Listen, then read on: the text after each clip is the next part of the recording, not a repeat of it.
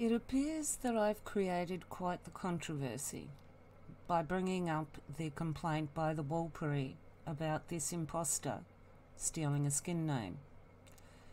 And I'm really very pleased for all those that are actually questioning what I'm saying. Because only in questioning can you find if the answers are true or not. I can make all the claims Anybody can make all the claims in the world they want, but are they true?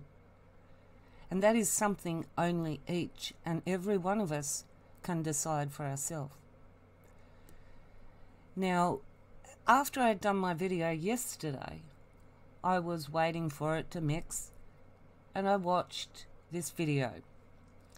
Now, I apologise to the Warlpiri for putting up Mark McMurtrie's um, images here with his stolen skin name in it.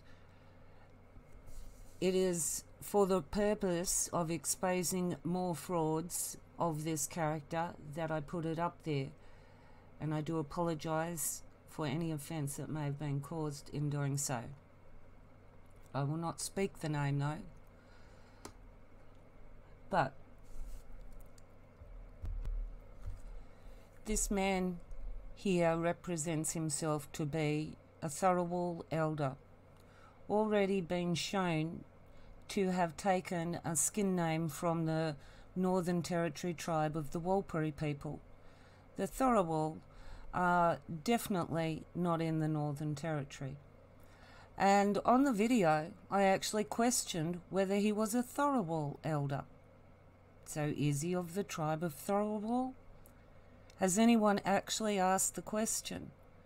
Can a Tharawal elder, a legitimate one, step forward and say he was adopted and tell us that he has a skin name that belongs to your tribe and not to the tribe of the Warlpiri? So let's have a look at the video, shall we?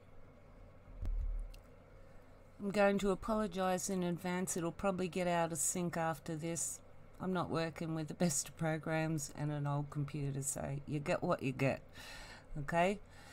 But this is um, the OSTF update 2011 Scar Trees. It's this video here with Mark McMurtrie in it. And it's on this channel, Sovereign 10410. Now I want you to listen to what he's about to say. I've been adopted into the Githabul tribe. Um, I Gulgith on my dad's side, Thara on my mum's side. I've been adopted into um, into the Githabul, and my wife and I live here at Rosebery um, on Githabul territory, um, in accord with Githabul tribal law. Yeah, well, we're, we're going around the territories now, um, uh, remarking the boundaries. You know, like when the British came here, they put up fences to mark their territories or to mark what they believed were their territories or their boundaries uh, and cut down ours, which are our scar trees. So we're going back around and we're putting the scar, scar trees back in place. Um, as you can see from the two up the front here. That's the first of the new scar trees. Hey Uncle, what do you reckon? Awesome. Awesome. The icon, uh, particularly starting from the top. Right, I'm going to stop it there because I don't think it's bloody awesome defacing a tree, that is essentially taking the equivalent of, say, like half your body, ripping off the top layer, going down to the next, exposing your guts, and leaving you like that. That is not do no harm, and that is not the Aboriginal way. Trees are valuable in the desert. They are not defaced. That is vandalism, environmental vandalism for a start. But let's go back to where he was sitting here. Do I need to replay where he said, and if you look up where he says he is in Rosebery, it's all suburbia. I don't know where this picture is, but uh, Rosebery is all suburbia. And uh, if it's suburbia, you cannot be sovereign if more than 10%, uh, 20% is bitumen. Oh, concrete, I dare say. So, do you want to hear it again? And my wife and I live here at, um, in the Githabul, and my wife and I live here at Rosebery um, on Githabul territory. Right, so Githabul. So I haven't found out the answer to this one, but how many tribes can you actually belong to? I mean, you know, Githabul, Tharawal, stolen skin name from the Warlpiri. I mean, is there any foundation in this man that has truth in himself? You know, this person that was named at birth, Mark McMurtrie, can't handle the man he is. He's taken on, well, back in 2011 at the start of his OSTF rubbish, he's um, a Githabul. So what? Now, in 2020, according to the Nightcap on Minjimble documentary, he's Tharawal. How many other tribes does he belong to? Can he represent himself as any tribe? Have you all given him permission to do so? Has he been through law? Has he actually been adopted? And I also know how First Nations feel about um, painting up. I saw him look like he got some mud out of, you know, how you get those things out of um, cosmetics or whatever, those face packs. Wiped it around the side of his face and stood up in front of a, a crowd and talked about what it is to be an Aboriginal and standing up for the rights of people that have been oppressed since someone came here hundreds of years ago and stuck their little rag in the ground. This is an outsider. You don't question him. You should. Question me? Yes, please. Question everything I say. Question it. Question him, question me, question everything. Because that's how you're going to find what is truth to you. And if you question everything, seriously, there are, there are enough people out there that are already clued in and are warning you not only about Mark McMurtrie, but this David Cole guy. Oh, wow.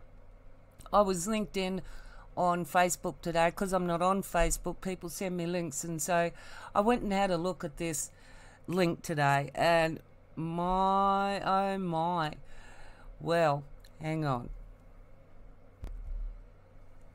But before I do go on to the next point, as I've mentioned, you can see here clearly that he's sitting up here. Look at him up here in the image on the left, holding his hands over his big beer gut that he's spent all these years filling up, toxifying his body. I mean, does can anyone tell me whether alcohol is a good thing? Anyone? It's crap. And he's filled his body up with crap. And his his toxic mouth, his toxic attitude is you know not everybody buys his bullshit. Oh, yes, he sits up there and he speaks, oh, this, that, and the other. And for people that have that feel disenfranchised, they can buy into it because they think he's got the answers. But the only reason you perceive yourself as a victim is because you perceive yourself as a victim. Because guess what? There's none of us born in this planet that actually are not born without problems of our own. You know, we've all got our burdens to bear and our cross to bear. And each one of us have our own challenges to deal with that. But if you're going to rely on someone that can't even be true to his own body, true to his own name, steals a skin name from others, claims to come from two different tribes, does this guy even know who he is? He's got that many different personalities, that many different things to hide behind because he can't accept the man that he is. And why would he? From what I look like, I've seen plenty like him that I, in my younger days. You know, those drunken, toxic, nasty drunks that you'd meet at the pub? Yep.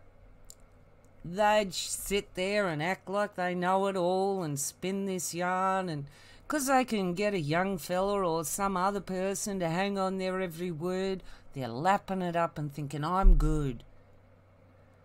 Well, you know what? He's just taken it out of the pub and into the communities. And it's not like he's not doing damage. He is using innocent people that have no indication of showing that they actually understand how they're being used because English is not their first language. And this fake Tharawal elder, Githabul elder, skin name thief of the Warlpiri, who is he really? Does he even know? And you're looking for answers and solutions out of this man? Mm. You're, all you're going to do is find problems. So question it. Yes, I'm really pleased that people are questioning Am I telling you the truth? Have I received a, a complaint from the Warlpiri? Yes, I have. You can take that or you can leave it. You can take the fact that you just heard him say Githabul. And it says Tharawal here. Now, tell me, is his skin name Tharawal or Githabul? Now, these are answers you can give yourself. You can find out for yourself. Know for yourself. Who is this man that keeps representing himself as a different tribal elder? Who's he going to be next year? Who's he going to offend next year? Maybe he gets bored with this name and steals someone else's skin name. Maybe it might be yours. But then maybe you're not going to worry about that because all anyone's been worried about is picking on poor little Mark McMurtrie. Do you not honour your own tribal law? How hypocritical to turn round and complain about an outsider when you're not even paying attention to your own law. Come on. Do you honour your law or are you a fake? Because as long as you're supporting this man, Mark McMurtrie, you are dishonouring your skin name, your tribe.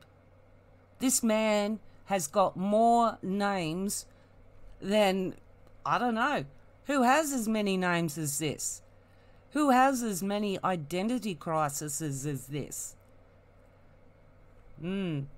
I think people should question more. Now, Mark McMurtrie, I know you've been stalking my YouTube channel. You can't wait to hear more of what I've got to say. So, this is a warning. No, not a warning. You are still using the skin name. You have got no right. Stop using it close down your Facebook profile under it and stop commenting under it. You commented again under it today on Original Sovereignty Tribal Federation page. Yes, let's have a look at that.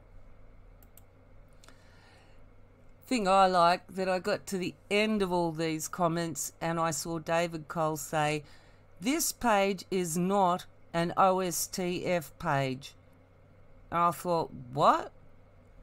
Isn't this a OSTF page? This is. Oops, sorry. Their page. He doesn't even know what page he's commenting on. But um, here he is commenting to um, David Rourke. And good on you, mate. I'm really glad that you're questioning these things. And uh, more of you should follow in his footsteps. Question.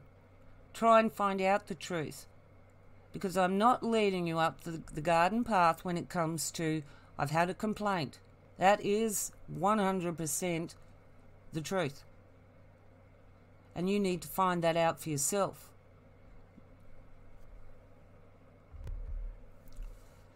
And I also understand the difference between native title and land title. And those that have land title have got law of their own, tribal law, LAW. It is the equivalent of what other Australians outside of that land title tribal law live by in Australia. It is equally as valid and as enforceable. It is not this fly by night, it's got no foundation in it.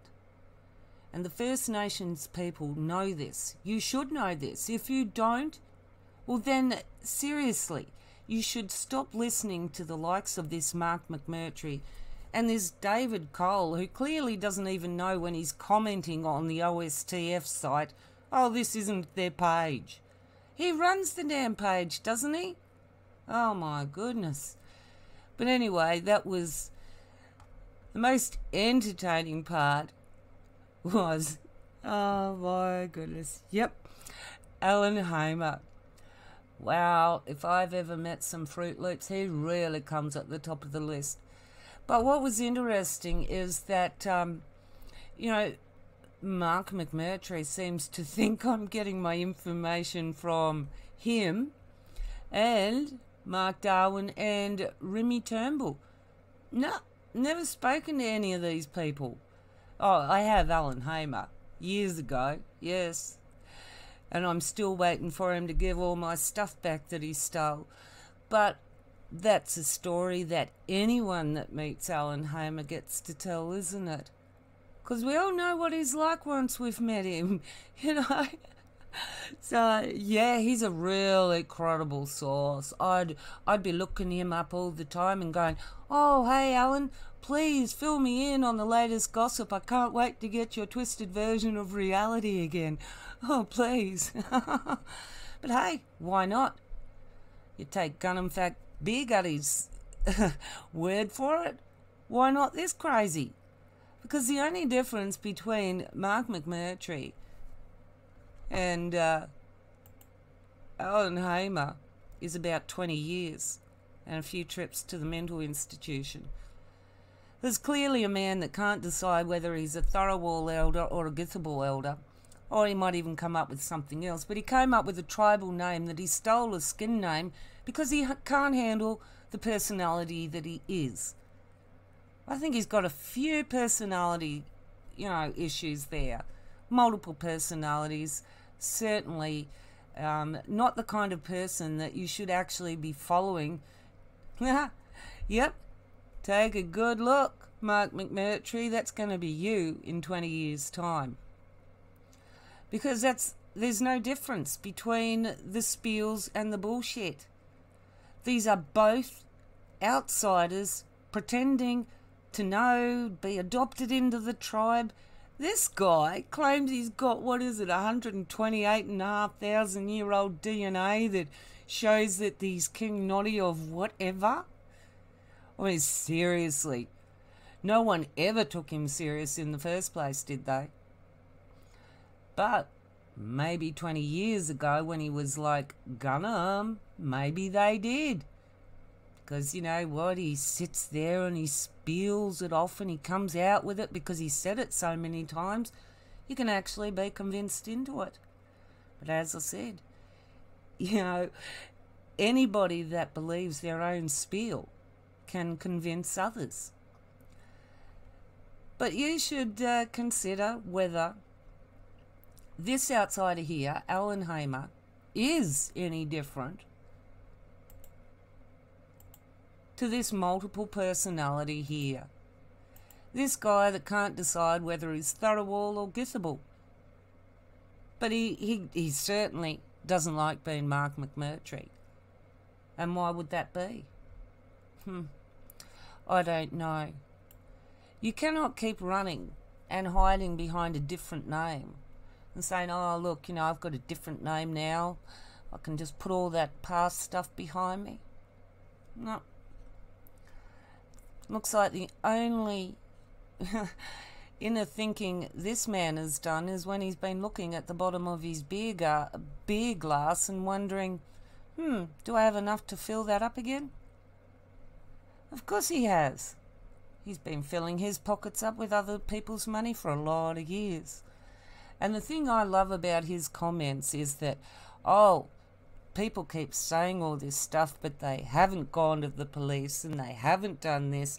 And because they haven't done it, they haven't got it. Well, go on, keep on believing that. Because that is pretty much a stupid thing to say. Because uh, I've just listened to something today that, um, well, let's just say, ooh, Mark McMurtrie, I'd be wondering about whether you're going to be next. You know, someone's got to be the scapegoat. And it looks like it's heating up to be you. Darwin was the last one. Is it going to be you now? You think you're king of the pile? That you're in charge and AB's under you? Mate, he actually brags about fucking people over. That's his specialty. And you should know that. You would have heard him say it. I did. I heard it on a recording. Hmm. Very interesting what I heard. And so, yes, you're not only facing tribal law and the law courts of Australia that are going to be uh, given stuff on you, but I'd be wondering about how much you are going to be thrown under the bus. Well, come on, let's face it. Who else can they throw under the bus that's expendable? Hmm? Who else is expendable? Because ultimately, they've got the uh, what they think is the tribal situation in there now, and you're trying to go with all your sovereignty stuff. They don't need you. They don't need you at all. In fact, looking at you, you're just a lot of dead weight. So I'd be watching my back when dealing with a bunch of crooks. Because you know what? Any time one of them could sell you out to save their own ass. And you know that damn well. So stop using the stolen skin name. Get rid of your name now. Time's up. And stop representing yourself as all these different elders. Nobody is buying that you are belonging to any tribe. Well, I'm certainly not buying it. He's as real as Alan Hamer is. And as I said, 20 years' time. Yep, you can see it, can't you? The same 20 years' time. This is what he's going to look like after he's been through a few stints in the loony bin because he's got so many personalities. He doesn't know who he is. And you're listening to what he's saying like he's got answers. Wow. Do you listen to Alan Hamer? Hmm? Do you listen to Alan Hamer? Because it's the equivalent of listening to Alan Hamer if you're listening to Mark McMurtrie. Wait for another 20 years. And then you can say, guess what? You were right. He's just like Alan Hamer. But do you want to wait 20 years? Wait for all the damage and the division to take root? Him and his mates, David Cole and Robbie Mills, are causing a lot of division in your communities, taking advantage of elders. And you're sitting back arguing because poor little Mark is getting attacked for all these things he's supposed to be doing for you? He's doing nothing for you. He's lining his own pockets. Look how fat he is off all of you. Are you going to tell me that this man does everything for nothing? What a load of shit. He's got a trust account in his name. And I know that he had dealings with uh, ATSIC, the Aboriginal and Torres Strait Islanders Commission. I know that from years ago, back in, uh, what was it, 89, when I had dealings with them in the Northern Territory when I lived up there. I didn't know specifically this man at that time, but I know ATSIC. Also know the problems that they've had too, with all the people ripping off money and no matter how many times you get someone else in, they rip it off too. And it looks like that some poor woman has gone to jail because she took responsibility for the missing money. What missing money? Well, take a look at his gut. Take a look at the video yesterday and his sports cars. This man is a freeloader. He takes in people's money. And his con is to sell you something that you, well, he can never give you. You can only get for yourself. One, by understanding, and two, by questioning. You got to question, especially this guy. Gunham Baddie? Baddie? Come on. It's in the name. He's a baddie, not a goodie. And isn't it interesting that, uh, you know, everything about him is connotating towards something that, you know, he wants to project. I know why he stole the skin name. It has, it has power. And he wanted to add power to his own self. Well, you cannot steal someone else's identity and have any power at all. You are a weak nothing. You can't even stand in your own truth.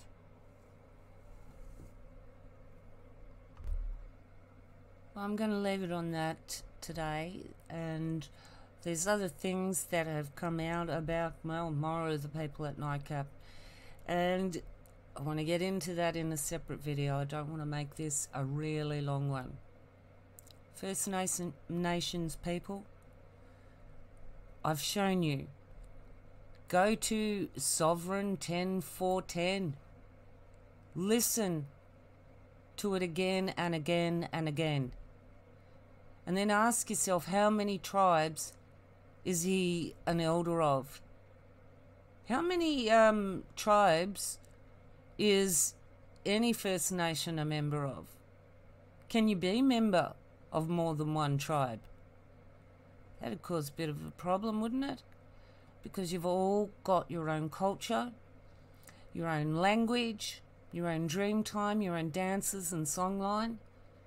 I mean, how does that work? I don't know. That's a question everybody should be asking themselves in the First Nation, isn't it? Anyway, I'm going to leave it at that. Catch you next time.